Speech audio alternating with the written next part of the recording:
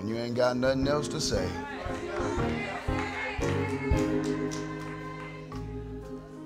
Old folks used to say if I had a thousand tongues, I still couldn't thank them enough.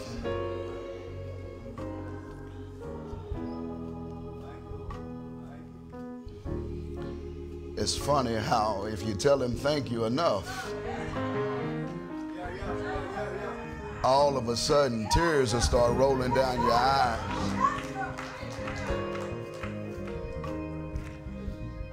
Because as you take it telling him thank you, your mind starts to think back and wonder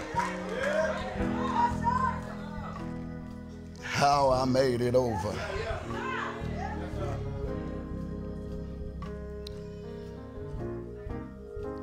And your heart begins to fill with thanksgiving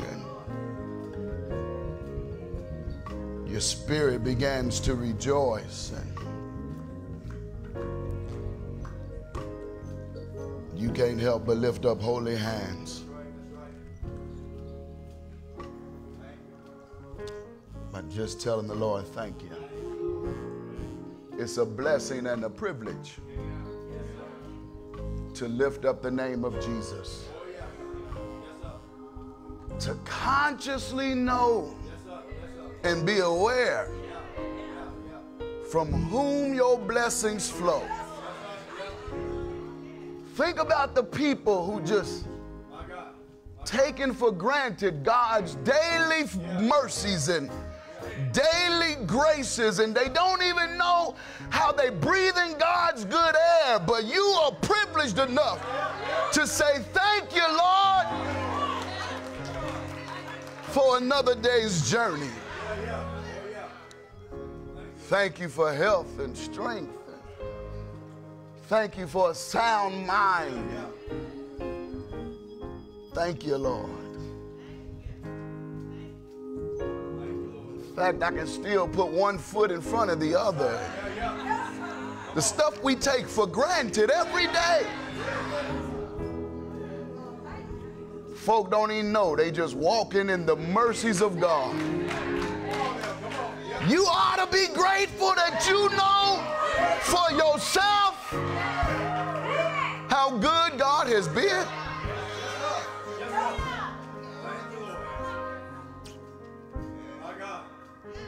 Thank God you know how good He's been. Thank God you know it wasn't the alarm clock. Thank God you know it ain't because of how smart you are. Thank God that you know it ain't because of how slick and cunning you are. But God's grace is sufficient. I'm glad I know that for myself. I'm glad I'm not like this all the time, but rather I'm like this.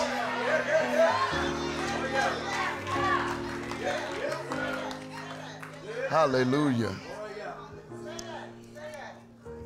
Y'all better quit taking my God for granted.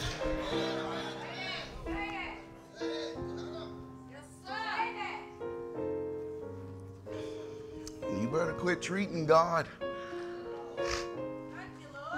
like he's like us or something.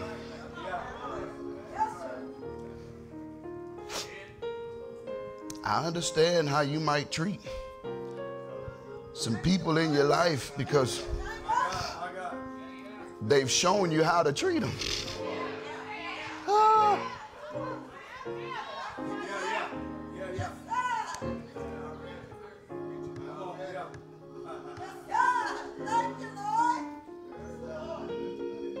This God is worthy of our thanksgiving, ain't he? He's worthy of our thanksgiving. So since you know better, don't come in God's house and sit there like God has not been good to you.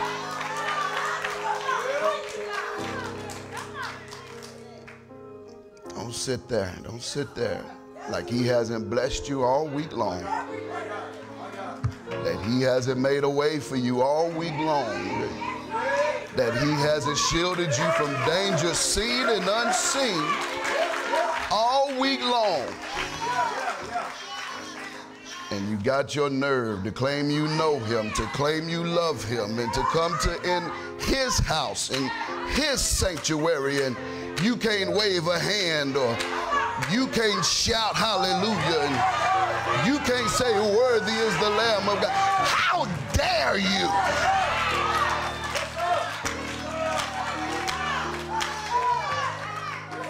You got your nerve.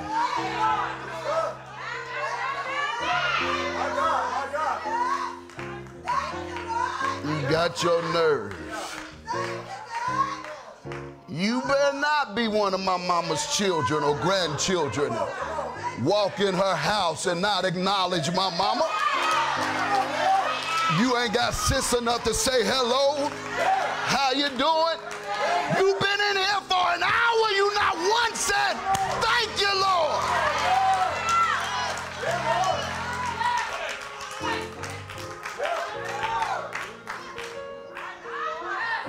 Like you done something just because you showed up. Don't nobody care you sitting in here.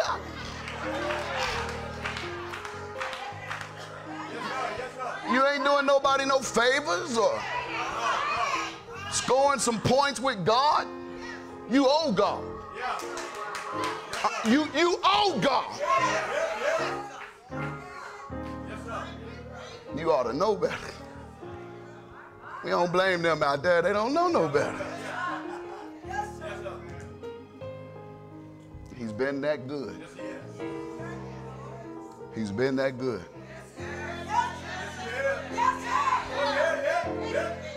He's been that good. Hallelujah. Thank you, Holy Spirit.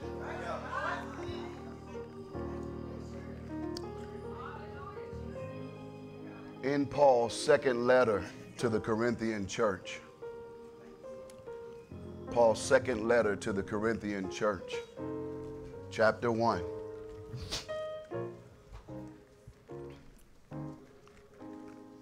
Chapter 1 of Second Corinthians. Chapter 1 of Second Corinthians. I want to look quickly at verse 20.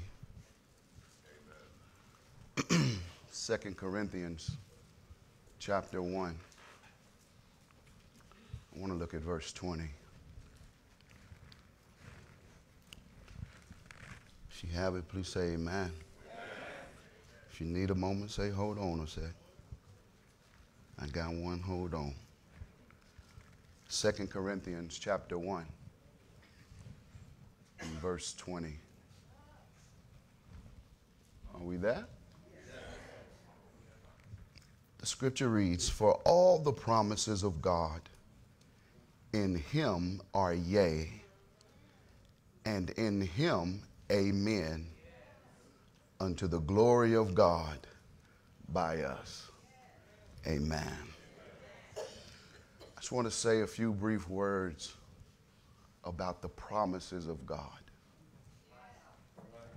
Simply about the promises of God. Child of God, I don't know um, how much promises mean to you in this life.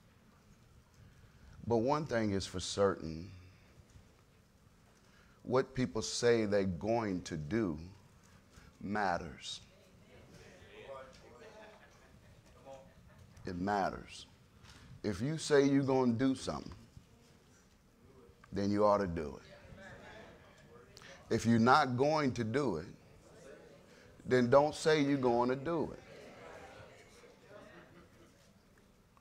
Because if you fail to do what you say you will do, then you lose what? Credibility. And you lose integrity. And then you want to expect people to trust what you say. You're like the one who cried wolf until there was really a wolf. And then nobody believed what came out of your mouth. Child of God, I, I, one thing that is for certain a promise, yes, it comes from the person and it goes to someone. But make no mistake about it, the promise stays with the person who made the promise. No matter when they made the promise, no matter to whom they made the promise to, when it boils down to it, they're going to come back and say, Did you do what you said you were going to do? That's all that matters. It don't matter when you said it. It's are you going to do what you said you was going to do? That's what matters with us. That's what matters with us. I think for us, it's not necessarily what a promise is, but more so who made the promise. It's more so about who made the promise. The reason why, you know, forget about, well, let's not forget about it, but let's just put to the side for the moment, you know, adultery and sin against God. But the personal hurt that comes from one stepping out on another in their marriage is because they trusted the vow that you made. The hurt comes from the fact that basically they feel like you just lied to my face. Not only did you lie to me, you lied before the preacher and you lied before our family and friends. All you did was lie. If you wasn't going to do it, then why'd you say I do? The emphasis is on the person that made the promise. Beloved, I, I, I think the problem with us and the promises of God and the reason we have, or we struggle, I should say, with trusting what God said is we don't put enough value on who said it. We, we don't put enough value on the promisor. We heard what he said. Yeah, but I'm not certain that I'm ready to put that much trust or belief in someone I can't even see. Help me, Holy Spirit. Because the truth of the matter is, we put confidence in what we know, or should I say, in those we know. If mama tell us something, mama knows best. If daddy said it, surely daddy's right. If the pastor said it, or if it came from the pulpit, it got to be from God Himself.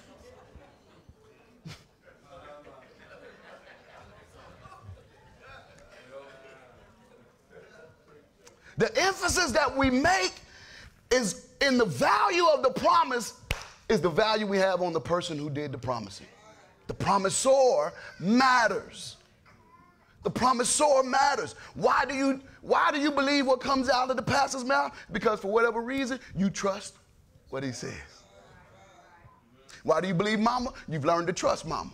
Why? Because every time you was hungry, she fed you when you was a kid. When your feet got too big for your shoes, she took you down and got you some more. That's why you trust mama. Why you trust daddy? Because he gave you money every time you needed it. Hopefully. But the thing is, what I'm getting at is you trust the promisor because they have a track record. Ha!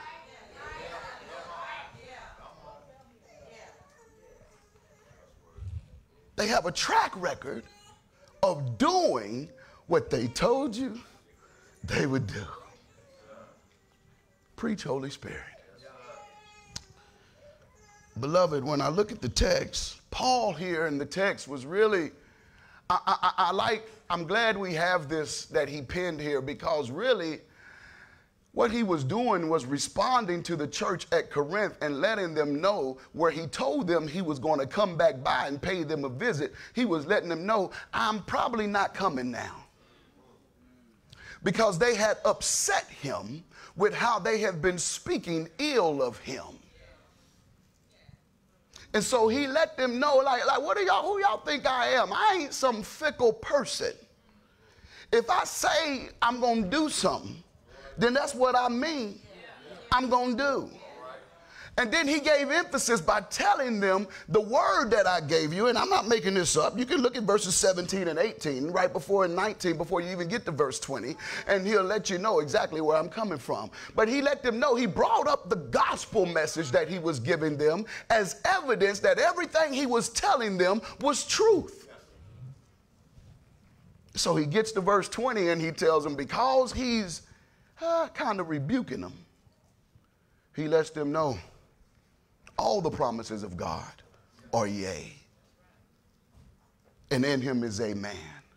Because when he gets to verse 1, 2, and 3 of chapter 2, he basically lets him know, I'm not coming because I don't want the ones who's supposed to bring me joy and who I'm supposed to rejoice in, I don't want to have to come and bring you sorrow. Because he was letting them know, if I show up, I'm showing up to rebuke you. I'm showing up to scorn you. So I'm just going to do it in this letter so you'll still love me. So I, when I get there, I'll have the joy that I seek. I'm glad today. It's just like when Jesus, if it wasn't for them Pharisees ready to stone that woman, that Jesus would get down in the dust and start writing and say, He who was without sin cast the first stone. If they never was going to stone that woman, we might never have gotten that penned in scripture. If they never were speaking ill will of Paul, we might have never gotten this gem that he wrote here, written in scripture, that tells us that all the promises of God are yea. God is not like you and I. To where he makes a promise and expects you to do something to fulfill the promise. See, the thing is, beloved, it's just like a covenant. In a covenant, you say you're going to do something, and the other party say they're going to do something. The thing is, me doing my part ain't contingent upon you doing your part. You supposed to do your part, and I'm supposed to do my part. Child of God, God has made us some promises in Him that are fully dependent upon just him doing what he said. That's some good news for us. That's some good news for us. Why would Paul feel the need to bring this to their attention? It's funny because for some reason, we get to a place and we get circumstances that arise in our life, and all of a sudden, we forget that we even have a God to call on. I can't understand because the thing is this, beloved, if we know the promises of God, see, it's only, it's only, it's only a couple of reasons that I can think of why we have problems trusting the Lord. And one is either we don't know what he said, because you can't, you can't believe in what you don't know. One, you don't know what he said, or two, you don't trust who said it. Them the only two reasons. Them the only two reasons. Either you don't know what he said to begin with, or you know what he said and you don't trust the one who said it that he's able to keep it. Them are the only two reasons, beloved. Now, I'm inclined to believe as babies, because babies don't even know to trust mama until they've grown up a little bit babies and don't even know where to put trust until after they've experienced some stuff. So I understand to some degree, but what I need you to do, child of God, is I need you to grow up a little bit. Because when we think about it, when we think about the, the, the promises of God, one thing is, is you can count on God's promise. You can count on God's promise. Why? One, because of God's character. How about because of who he is? See, like I said earlier, some of you think of God like he's a man, like he cares about the things we care about, like he thinks like us, or he responds like us, or that he loves like us. He don't love like us because we only love those that do what? Love us back. He doesn't act the way we act because we don't do unto others the way we would want them to do us. We do unto others the way they do us. Be honest. I'm going to treat you the way you treat me. You going to talk crazy to me? I'm going to talk crazy to you. Don't be asking me for nothing when I came to you and asked for something you ain't give it to me. That's who we are. Quit lying to yourself. You too. God is not a man. He doesn't operate like us. The Bible says that his thoughts are so far above our thoughts and his ways are so far above our ways as the heavens are above the earth. God is not like you and I. Quit bringing him down to your level. He, is, he does not sin. He does not lie because he can't lie. Because he can't sin. He does not have a fallen nature. His nature is holy. His nature is right. His nature is just and his nature is good. Beloved, we also can count on the promises of God. Why? Because he does not change. Thank God for that. Because we as people, our minds and our thoughts and our feelings can change like the wind. As the wind blows, our thoughts can change in a moment. Circumstance change, your position changes. Society changes, what you think about what's right and wrong changes. All because of what society says child of God, God does not change. He's the same God yesterday, today, and he'll be the same God tomorrow. People want to say all the time, well, the Bible was written, scripture was written over 2,000 years ago, 5,000 years ago. Beloved, I don't care because he's the same relevant God. It's just as relevant now as it was 5,000 years ago. As a matter of fact, the Bible says there's nothing new under the sun. There ain't nothing happening today. There ain't nothing you dealing with today. It's nothing that's going on in our society today that they were not dealing with back then. Just as messed up as we are right now is just as messed up as human beings were from the beginning of time. Everything was going on that you see now. Man ain't no different. We just as fallen now as we were then. Child of God, thank God that the one thing that stays constant is Jehovah. Circumstances change, society changes, people change, you change, we change. But thank God that He remains constant. Thank God that even in the midst of societal changes and societal behaviors and acceptance, thank God that we can still stand firm on God's law, on His judgment, and His word. Thank God we can still stand on that. Thank God that His law doesn't change. Thank God that His blood and His saving power does not change. Thank God that He doesn't require no more of us now than He did 2,000 years ago. He still today doesn't want us to do anything but to love Him and love our neighbor. Thank God that nothing has changed. Thank God that He is still the same person. And thank God for His infinite wisdom.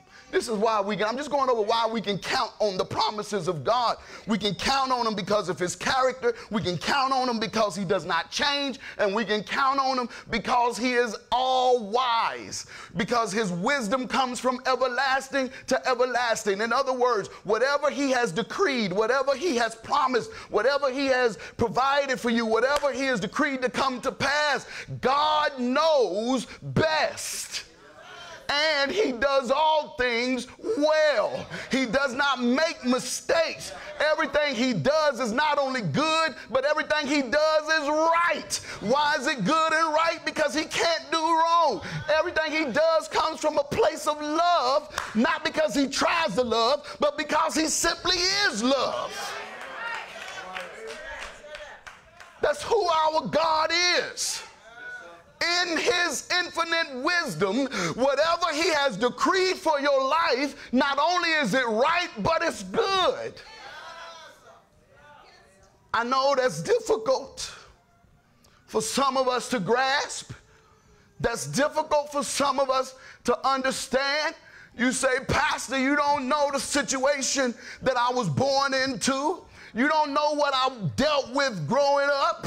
You don't know the hardships I've had in my life. You don't know what I've had to get over in my life. But, baby, what I got to tell you today is God still set you up for a come up. That God still blessed you all the way through your trials and your storms. Otherwise, you wouldn't be here to tell me what all you've been through. And, and, and, yes, that too was for your good. As bad as you think it was, as hard as it was for you to forgive the person that did it to you, some of you still ain't forgave them or moved on. As tough as that thorn is, I come to tell you, even that is for your good.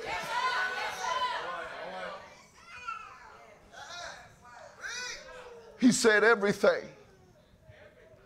All the promises of God are yea. You can count on the promises of God. Child of God, remember I told you that promises stay with the person. And because of who made the promise, because of who made the promise, not only can he do it? But because of who made the promise, I come to declare that he will do it.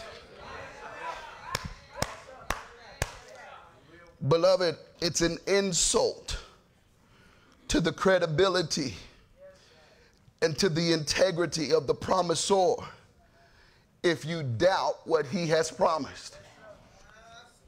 He told you that he'll never leave you nor forsake you.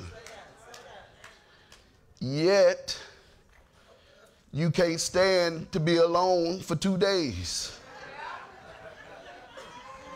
Child of God, He promised you that He will supply all of your needs. And yet, if he don't show up when you want him to, you take matters into your own hands and you bring about a deeper hole than where you begun. The problem, beloved, is for whatever reason, we still struggle to believe in He who has promised that He is able to do just what he said he's going to do. And see, when we get in church and we shake our heads and we say amen, but as soon as life hits us, as soon as the world happens to us, we forget everything that we heard from the man of God and we began to do whatever we feel is necessary to bring a remedy and some relief to our situation. But, child of God, all we're doing is saying, Father, I heard you, but Father, I can't see where you're working. Father, I know what you said, but Father, you ain't moving fast enough. Father, I heard what you told the people, but for whatever reason, I'm still hurting too bad over here. I can't take this no more. My flesh is getting to its end, so I need you to move when I say move. So we don't want to trust God. that he'll do what he said. But you know what? Because when I find in the text his truth and his power is bound up in his promises. It is. The truth of God, the truth of the gospel is wrapped up in God's promises. Mm-hmm. Because, see, if I look at Old Testament and New Testament, God made us a promise. The first promise He made us was in the garden when He said that the heel from the woman's seed will bruise the head of the serpent. He made us that promise. He promised us throughout Scripture. He made us promises of peace, promises of joy, love, goodness, forgiveness, promises of salvation, promises of sanctification, fellowship, hope, and glorification. And beloved, all of this is tied to the promises of God. All of this is tied to the truth of God. If Christ is not the truth, then these promises can't be fulfilled. If Christ is not the living, breathing, walking power of God in action, then these promises can't be fulfilled. It's all tied up into who He is. Not only who He is, but it's tied into what He has done. Hallelujah. Thank God for Jesus. Thank, thank God for Jesus because all was accomplished in Him. And you say, well, how can it all have been accomplished in him if he wasn't born until 2,000 years ago? Child of God, the last I checked, my Jesus is eternal. My Jesus is from everlasting to everlasting. He's the first and the last. He's Alpha and Omega. Anything that was made was made by him. And he has an everlasting covenant, an everlasting promise that is written and ratified with his blood.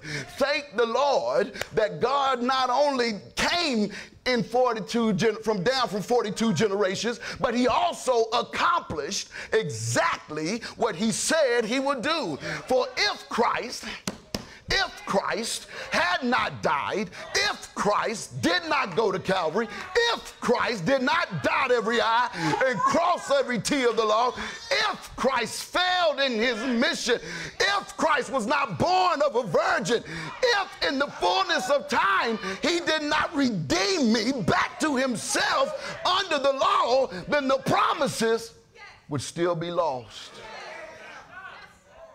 But thank the Lord Thank the Lord for Jesus. In him are the promises, yea.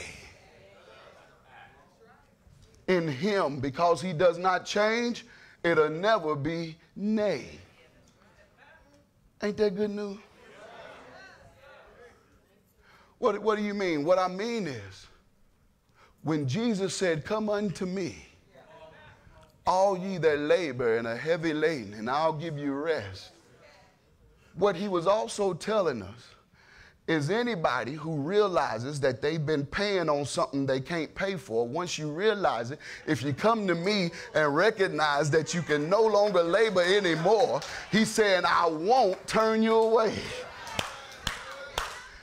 Beloved, that's some good news to know that no matter how dirty I am, to know that no matter what wrong I've done in my life, to know no matter what I did just on yesterday, if I come to Jesus just like I am, toe up, messed up, jacked up, just like I am, my stench won't run him away.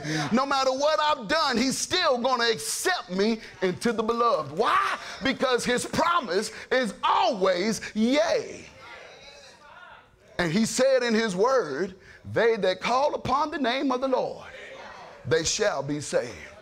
I contend that if you call on the name of the Lord today, He'll save you. I contend if you call on the name of the Lord today, He'll heal you. He'll come by your house. He'll come and see about you. He'll mend your broken spirit. He'll lift up your bow down here. If you can simply call on the name of the Lord. Why? Because He said He'll keep you in perfect peace. Because He said He'll leave, He won't leave you comfortless. Because He said, if you call on me, I will deliver some help. That's what he said. That's what he said.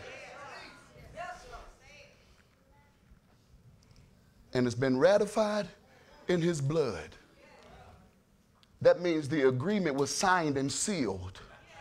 It became a locked agreement at Calvary. Thank the Lord. It became a locked agreement at Calvary. At Calvary, everything God told us He was going to do, it was done. That's why Jesus was able to declare, Oh, it is finished. Ain't nothing else to do, Lord. Hey, ain't nothing else to do, Lord. As a matter of fact, Lord, you can go ahead and start calling them on home. As a matter of fact, Lord, you can go ahead and send your comforter and start drawing them on in. Go ahead and send the bailiff to the jailhouse and tell them the bond has been paid. Tell them the debt has been paid. Tell them it's time for them to be released. Tell them the sins have been forgiven. Tell them that the punishment has been taken off of their head. Let them know, oh God, they've accomplished all in me. That's all he was saying. And so then he said, because we believe all of that, because we believe all of that, if you believe all of that, he's saying your response ought to be, Amen. Hallelujah. He said, your response ought to be amen. In the Hebrew, the amen means a surety. It means a sure thing. Amen means to, to be trusted, but in the Greek, it means let it be so. It means so be it. It means verily, truly. In other words, beloved, what we're saying is, is that because of what God promised and because of what Christ accomplished, we can say, let it be so. God said, hallelujah, that he'll never leave you no, or forsake you. Let it be so. God said he'll feed you when, he, when you're hungry. He'll give you water when you're thirsty. He'll give a shelter in the storm. God said that He'll fight my battles. God said He'll supply my every need. God said that He won't leave you comfortless. God said that He won't put more on me than I can bear. God said He'll be my friend.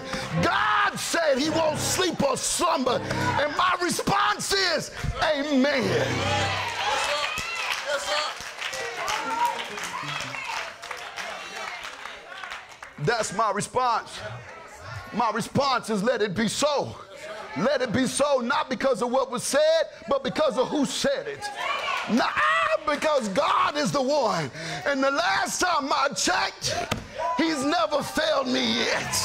But because when I look back over my life,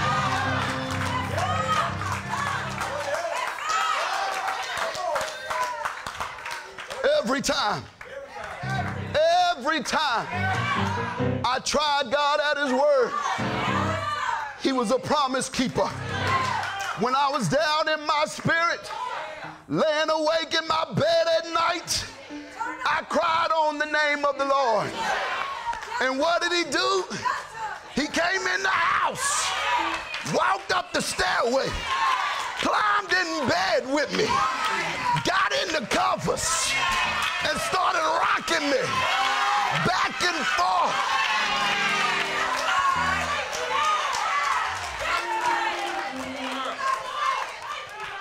That's what he did for me. That's what he did for me.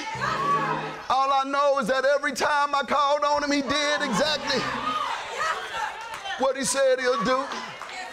I can't remember the last time I was hungry and he didn't feed me.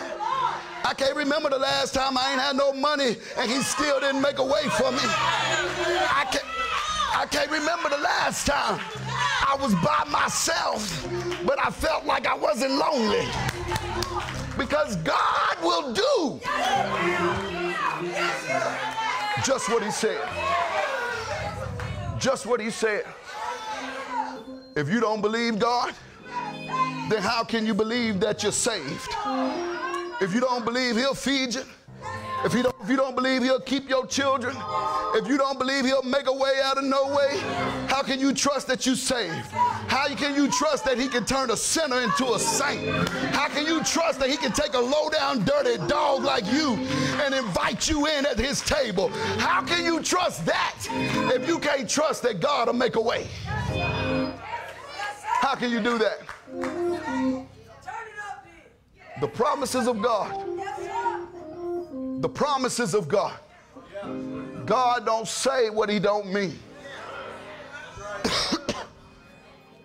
God don't say what he don't mean. And if God said it, it's already done. It's already done. It's already done. It's already done. It's already done, Sister Baker. It's already done. Why? Because God already promised it for you. God told you He gonna take care of your children. Don't worry about it. I know they acting crazy out there. Don't worry about it. He told you He got them. He got them. He got them. Even if He got to take them out of here, He got them. Even if He got to take them out of See, some of y'all don't even realize that God taking them out of here is God answering your prayer. Because guess what? Now you ain't worried about them. Now you ain't.